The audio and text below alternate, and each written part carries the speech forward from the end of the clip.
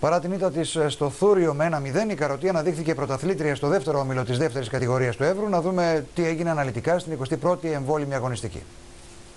Πραγματοποιήθηκε η 21η εμβόλυμη αγωνιστική στο δεύτερο όμιλο της δεύτερης κατηγορίας του Εύρου με τα αποτελέσματα Ορφαία Σοφικού Θιέλα Σιτοχωρίου 2-3, Ασπίδα Θουρίου Καροτή 1-0, Διγενή Χειμωνίου Θιέλα Κυπρίνου 0-3 Ανεφαγώνα, Ινόη Ένωση Κιανίσα Βεστάδων 0-3, Δόξα Ελληνοχωρίου Θιέλα Παλιουρίου 4-2 και Αετός Λεπτής ΠαΕ Πενταλόφου 3-4.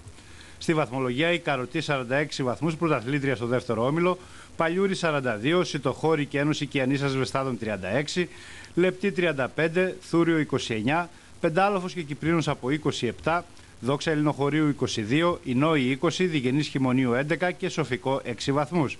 Την επόμενη αγωνιστική θα γίνουν οι αγώνες Ορφαία Σοφικού Ασπίδα Θουρίου, Θίελα Ιστοχωρίου Διγενής Χειμωνίου, Καροτή Ινόη, Θίελα Κυπρίνου Δόξα Ελληνοχωρίου, Ένωση Κιανίσα Βεστάδων Αετό Λεπτής και Θίελα Παλιουρίου Παεπενταλόφου.